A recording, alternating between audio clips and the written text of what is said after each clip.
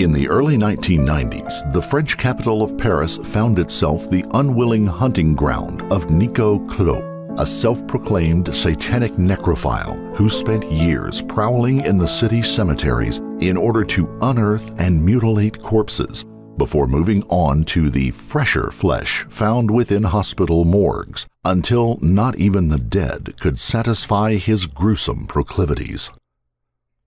Before we get started, a word of warning. This story contains graphic details relating to some of the most depraved acts known to humankind cannibalism, necrophilia, Satanism, and of course, homicide. But if you think you can stomach it, let's dive in to the case of Nico Claux, the vampire of Paris. Welcome to Fear Files where we discuss and dissect the most mysterious, terrifying, and mind bending cases from all over the world. Before we get started, we would like to send our thoughts and prayers to the loved ones of Thierry Bissonnier, who fell victim to the abominable actions described in this case.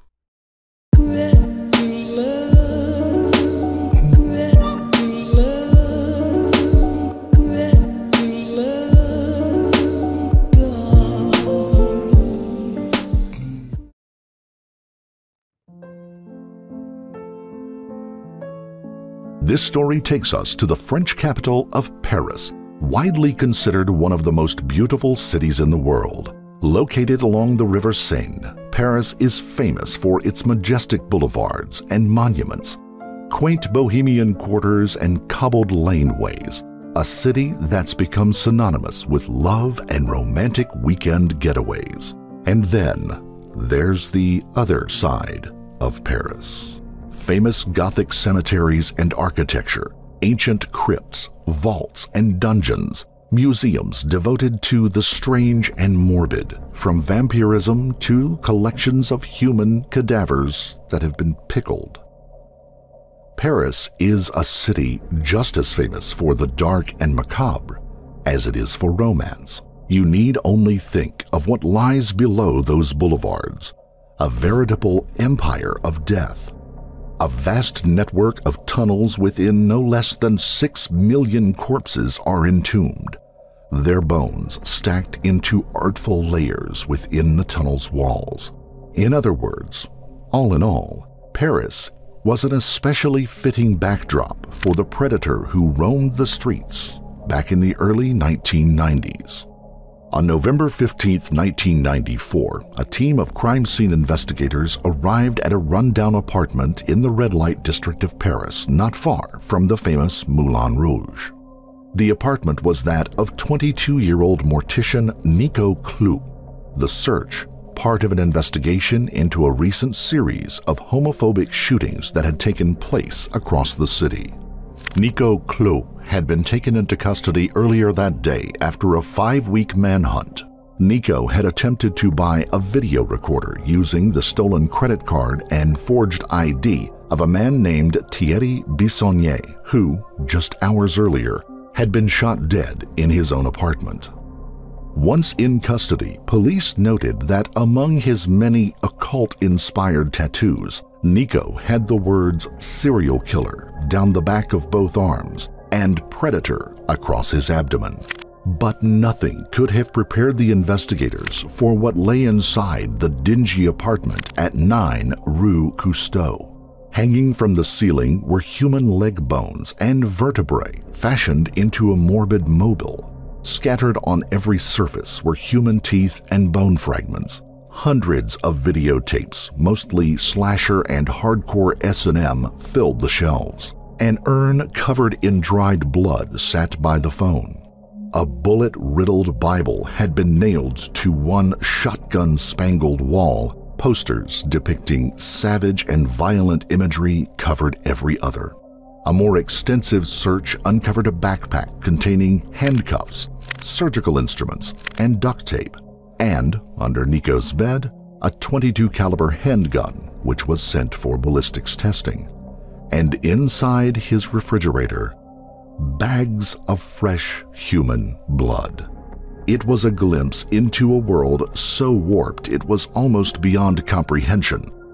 the mind of someone consumed by death, violence, necrophilia, and cannibalism. Someone whom they now suspected of being a serial killer. During his first police interview, Nico denied any knowledge of the murder of Thierry Bissonnier. When confronted with the positive results of the ballistic test, however, he promptly confessed. He had shot Thierry, he admitted, after randomly meeting him on Minitel, an early precursor to the internet. The murder of Bissonnier was eerily similar in MO to other recent shootings.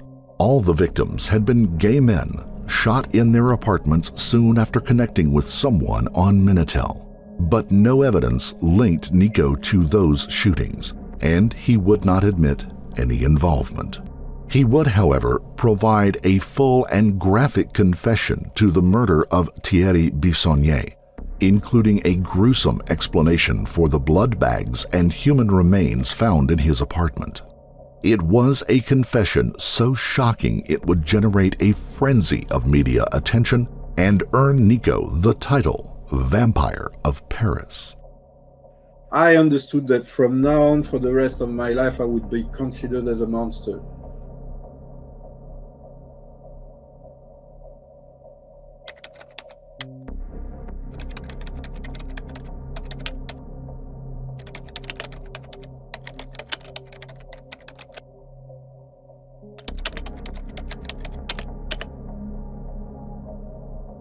Nico Claux was born on March 22, 1972 in Cameroon, Africa to French parents. Nico's father was a computer technician whose job required the family to regularly relocate to foreign countries. By the time Nico was six, he had lived in Africa, England, Switzerland, and France. But while Nico's parents provided generously for their only son, his mother was emotionally absent and showed little to no interest in him. His father was mostly away on business. Frequent moves made it hard for the naturally introverted Nico to make friends. Nico withdrew into himself and grew emotionally cold and indifferent. I've always felt like an outsider. And uh, I never really understood what the dynamics of what was going on around me in terms of human interactions. And I, I never fit in. Then, when Nico was 10 years old, came the moment that would direct the course of the rest of Nico's life. Nico had persuaded his grandfather to play a game of badminton with him. But during the game, his grandfather had suddenly suffered a stroke and dropped dead right in front of the horrified child. According to Nico, his family then blamed him for his grandfather's death, chastising him for having insisted. Surprisingly, though, this wasn't Nico's defining moment. That moment was simply Nico's first exposure to death itself. Of course, I felt, you know, grief because uh, I really liked him but I was very intrigued and fascinated by the wake. And this was my first experience with physical death. And uh, it, it was some kind of uh, awakening for me. I was fascinated by the, uh, the room itself, the, the, the funeral home, the people who worked there, the, the casket, and the atmosphere around me. And I felt uh, a connection to the energy that was going on there. Mm-hmm. And I felt more alive in a way than uh, in my normal environment. Soon after his grandfather's death, Nico's mother began having nightmares. Often she would wake up screaming that Nico was trying to kill her with his mind. She accused Nico of having supernatural powers. His mother would later end up being hospitalized, but would spend the rest of her life living in fear of Nico. Gut instinct, perhaps? Or a kind of projection of her own insanity onto Nico, impressing on him an image of himself as a demonic killer long before he'd even contemplated it.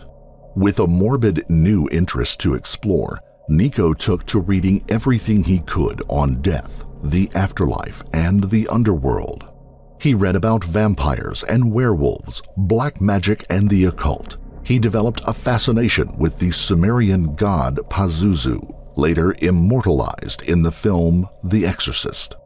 There is so many different representations. The one I feel more close to is the image of Pazuzu, the Assyrian demon, which I have tattooed on my, uh, on my wrist here. When Nico's father, who was an enthusiastic amateur anthropologist, returned from his trips, Nico would listen enthralled to his stories and images of voodoo rituals and witch doctors in Africa and the hell gardens of Thailand. Soon, Nico's interest expanded into cannibalism at around 11, Nico had come across an illegal copy of a magazine that contained graphic images of the corpse of a woman murdered by Japanese cannibal Issei Sagawa. The images had a huge impact on Nico. According to the satanic teachings he had been studying, consuming the flesh of another allowed you to absorb their power. Now, whenever he ate meat, Nico would fantasize that it was human flesh. There is a belief in certain satanic cults that uh, cannibalism is a communion with the devil, and this is the way I spiritualized the things that I did. There was always uh, in my mind the, the thought of uh, uh, taking lives and uh, feeling from the energy that was released when you kill a human being. When Nico started high school, his obsession with death shifted up a gear, this time to thoughts of murder. The family were living in Portugal at the time, and Nico attended a school for French expats, but the majority of the school was wealthy locals who excluded the expat minority. Nico had always viewed others as potential threats. Now the feeling overwhelmed him. They would talk about me all the time, but in Portuguese, I wouldn't understand what they were doing. But I was smart enough to understand that it was not really uh, good. And I started to develop all those fantasies about actually going to school with a knife and stabbing them uh, uh, one by one, one after the other. So yeah, there was a time between I, I would say 12 and uh, and 14 or 15 when I had these those really violent fantasies and those uh, obsessive thoughts about hurting them. I would wake up in the morning and think about it. I would go, I would see them and think about it. I would, you know, leave school and think about it on the way back home. And uh, and, and when I was home and reading true crimes, I would think about ways of doing it. So. His murderous fantasies became graphic and detailed. He studied anatomy books on how the body worked and how best to kill it. By now, his parents couldn't fail to notice that Nico had developed some unhealthy preoccupations. But it wasn't until he pulled a knife out at school and threatened to kill another student that they sought help from a psychologist. Before they'd located one, however, the family had to move again. When Nico was 16, he met a lifelong friend, Ignor Mortius. He was living in Paris with his father. Ignor describes his first encounter with Nico.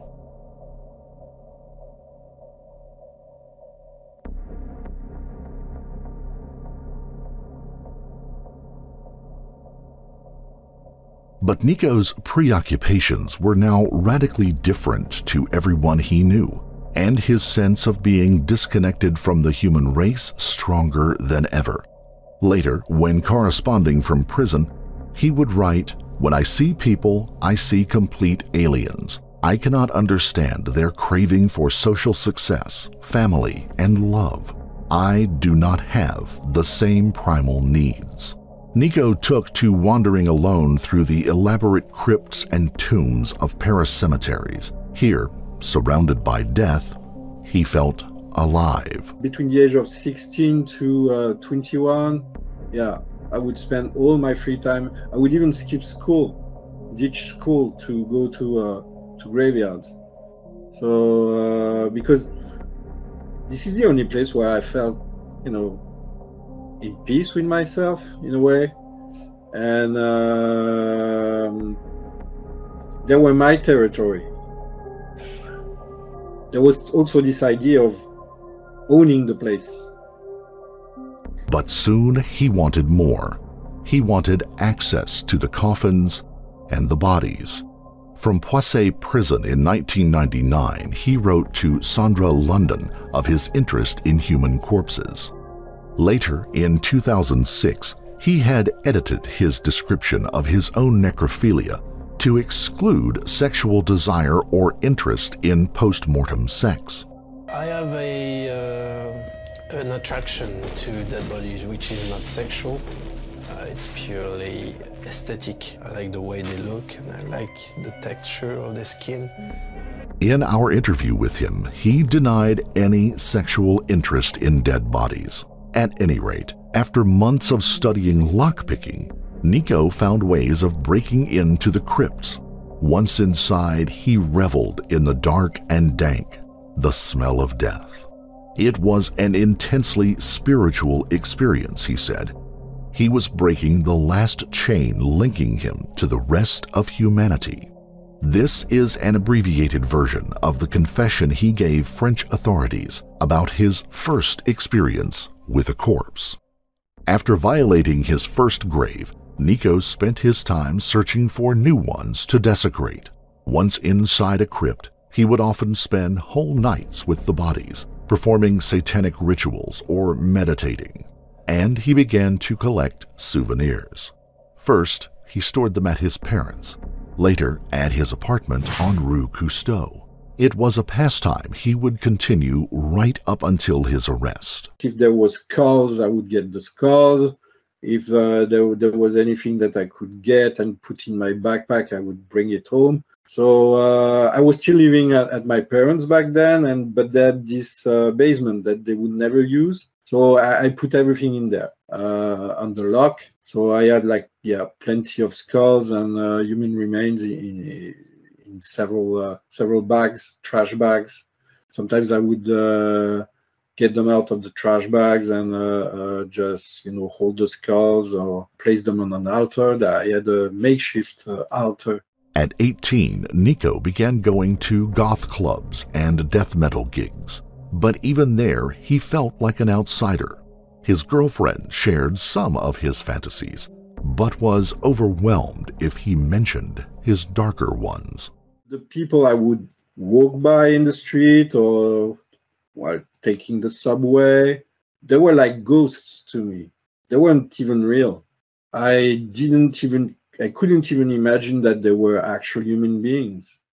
In 1992, at the age of 20, Nico joined the military for a short spell, working as a gunsmith, where he stole several weapons. The following year, he attended university, studying, ironically, psychology. At the university campus was a tall tower that reminded him of the mass shooting committed by Charles Whitman from a university clock tower in 1966. Nico made it his goal to do the same. Over the coming year, he would make plans to do so. It was not only the fact of actually uh, hurting people, but taking more or less their, their souls. Mm-hmm. So I, I had this like spiritual idea, spiritual motivation. Drinking blood was taking the energy from people, feeding on the energy, and killing them eventually uh, would be the ultimate way of feeding on their energy because you actually take it. In 1993, Nico finally found a job that would bring him in close proximity to death. He became a morgue attendant at St. Joseph Hospital. Nico's duties involved helping to conduct autopsies and stitching up corpses. Often, after the autopsy, Nico would be left alone, suturing a cadaver. Nico could now indulge his cravings he'd had since childhood. He took to procuring small strips of muscle from the corpses, sometimes eating them raw, other times taking them home to cook. When I started to work in the morgue and I started to attend autopsies, I was in contact with uh, raw human meat, so sometimes I would uh, swallow meat from the person. Then after I would uh, sometimes bring it home and cook it. There is a belief in certain satanic uh, cults that uh, cannibalism is a communion with the devil. And this is the way I spiritualized the things that I did. In his confession to French authorities, Nico also described having sex with corpses. In prison, he wrote several times of post mortem sex. He has since claimed that the statements are false. Nico had another job at St. Joseph Hospital. It involved delivering blood bags from the hospital's blood bank to the surgery room and returning unused blood bags. Nico devised a way of taking unused blood bags home without being detected and began to indulge another lifelong fantasy, consuming human blood, which he drank on its own or mixed with human ashes or a protein powder. Enjoyed the taste. I enjoyed the, the rush that I would get from it. Um, it was my way of uh, feeling kind of high, maybe. So, uh, yeah, I, I got hooked on that. There was one downside to his new job his three colleagues.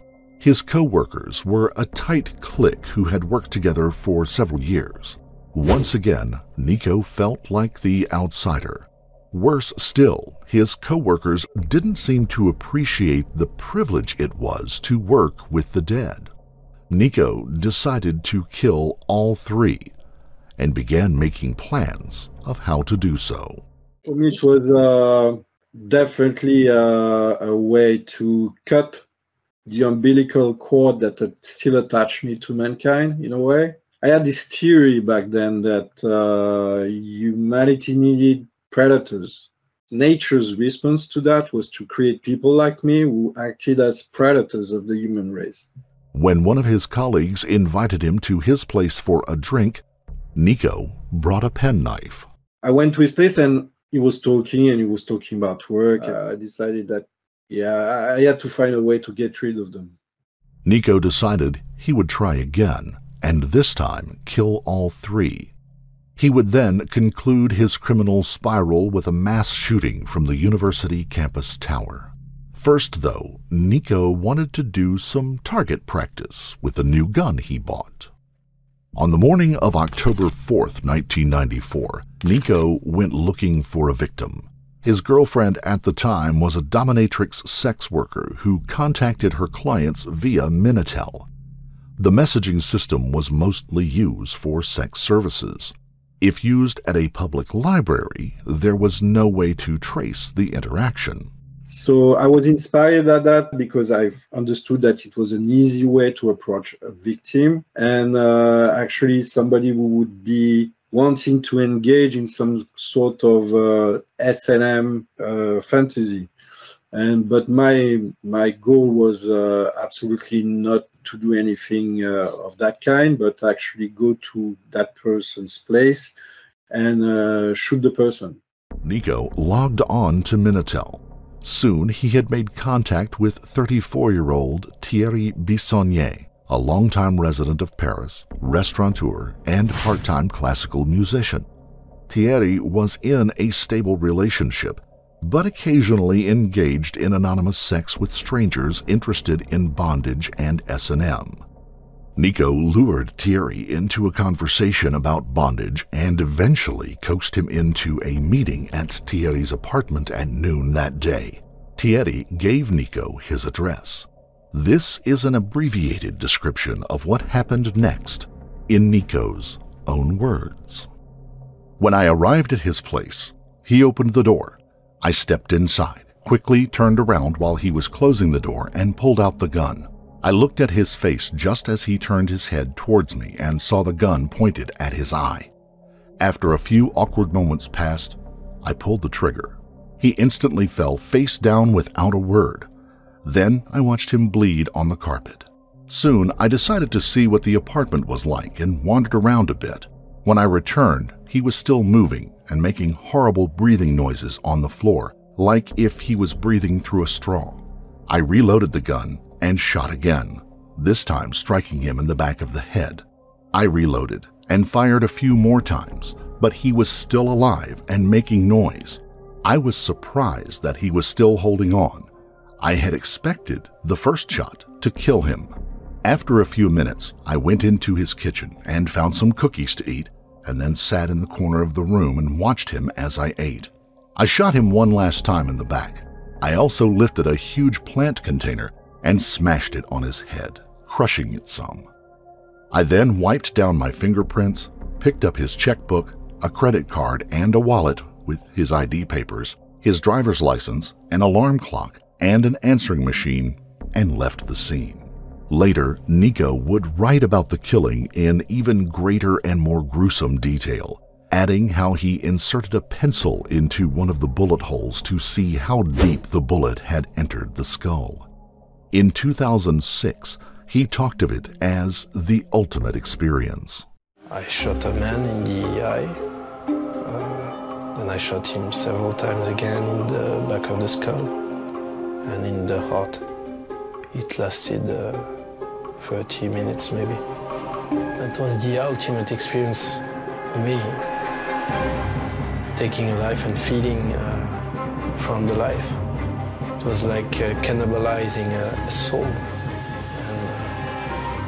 giving it to uh, my Lord. 18 years later, he is much more reticent about the crime, skipping over details. He describes his feelings at the time of the murder as mixed but single minded. He knew he was going to kill again. I just was saying to myself, self, there's no way back. And uh, I'm driving forward. So I want more. I want to feel alive once more. I want to serve the Grim Reaper once more. Three days later, Thierry Bissonnier's parents, alarmed after not being able to reach him, entered his apartment, only to be met by a terrible sight their son's butchered and decomposing body lying on his apartment floor. Nico might have gotten away with the murder, but it was just the start of an ambitious plan, and he was impatient to take the next step. Hours after killing Bissonnier, he entered a shop with Bissonnier's forged ID and credit card and attempted to buy a video recorder.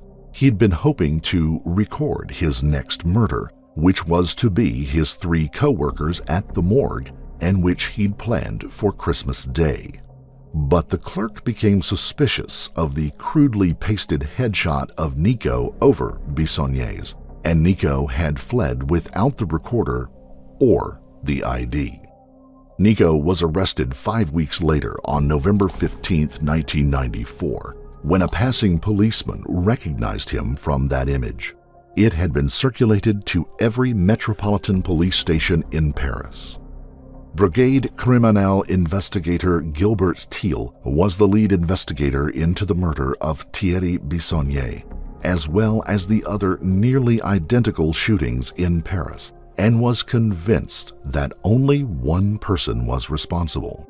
He would later claim during Nico's trial that he fit the profile of a serial killer, but a lack of evidence meant Nico was never charged with those crimes.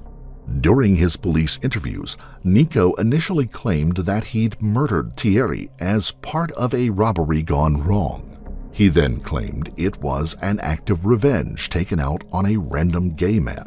None of them held water or accounted for the bags of fresh blood and human remains. So, Nico gave a final, shocking, and explicit confession, parts of which you've just heard. He was a satanic necrophile, he said, and went on to describe in graphic detail his acts of grave desecration and cannibalism. I understood that from now on, for the rest of my life, I would be considered as a monster. So when you understand that, and when you see the outside, and when you see police officers who've worked on the field for 20 or 30 years act the way they acted when they searched my apartment, you understand that it's over. You won't be able to to to be part of, of the system anymore. During his two years in custody, Nico underwent a battery of psychological tests. He told psychologists that corpses in the mortuary had been speaking to him, urging him to kill. He would later tell an interviewer that he'd invented this part in hopes of getting some reduced sentence. Nico was now diagnosed as psychotic with a penchant for necrophilia and sexual sadism, but fit to stand trial for premeditated murder. In May of 1997, Nico Claux was convicted of premeditated murder and armed robbery, along with fraudulent use of a bank check, falsification of a driver's license, and an attempt to defraud. He was never charged with grave desecration, cannibalism, or stealing blood. In his interview with us, he said the prosecution deliberately left the charge out to avoid a reduced sentence on the grounds of insanity. He was sentenced to 12 years in prison, of which he would only serve eight. He was released in March of 2002. Nico spent years corresponding with around 30 different killers and serial killers. Many were boring, he said, and in denial of their crimes and their demons. He felt a connection with others, however, the most significant of which was Issei Sagawa, the Japanese cannibal who had made such an impression on him as a child, and with whom he would correspond for a decade, later collaborating with him on art. Nico began painting serial killer inspired art in 1996. According to Nico, art would be his turning point and redemption what I found interesting was that I could actually summon and master my demons through another another way of expression, which was art. For several years after his release, Nico tried to enjoy his new celebrity horror show status as the vampire of Paris who sold serial killer inspired art. But the novelty soon wore thin everywhere I was going, I was considered as a sideshow freak.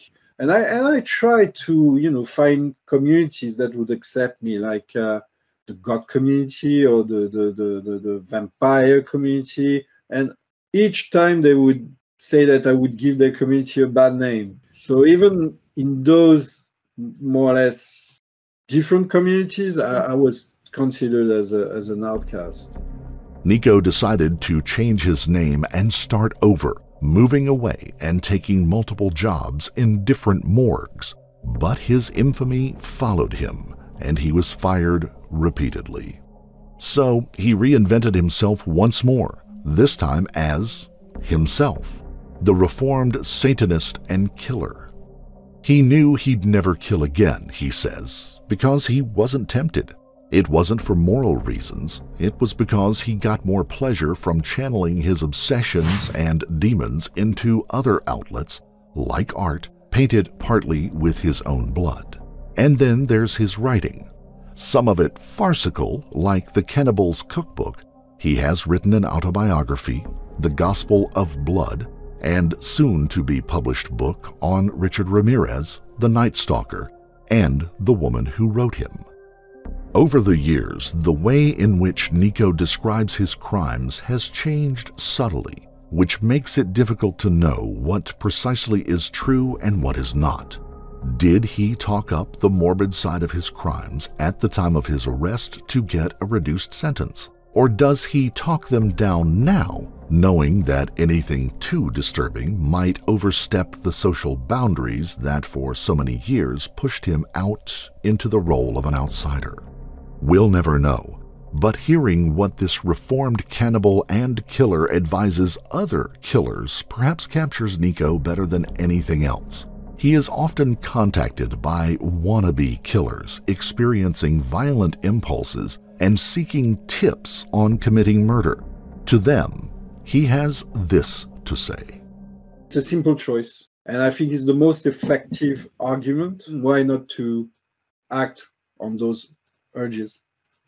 Because when you understand that you're going to feel alive for several hours, but what then? You will eventually get arrested, go to prison, and maybe spend the rest of your life, natural life, in prison. Is it really worth it? Creativity is way more satisfying. This is what I try to make people understand who have those dark urges. Just the fact of not being the person that they want you to be is satisfying. And this is uh, one of my biggest highs now. People expect me, of course, to be this person who will go back to my uh, old ways and uh, do those things or who've been doing this ever since I was released and they will, you know, uh, one day uh, they, they will find uh, this uh, mass grave somewhere. But no, no, I just want to disappoint people in that way. And uh, I, I don't want to be part of the narrative. Mm. You see what I mean? Mm. And uh, what I appreciate uh, is that those people who think that they can predict me, they can't. And this is what I appreciate the most, maybe. Yeah. If you found this story compelling, don't forget to like the video. Comment down below your take on it and subscribe to the channel. Also, hit that notification bell in order to stay up to date each time we reveal a new shocking case. If you have a case you'd like to see given more coverage, drop us a line in the comments. And thank you for your support. We're grateful for every one of our subscribers. So, until next time, stay safe and keep your eyes peeled. You never know what's lurking in the shadows.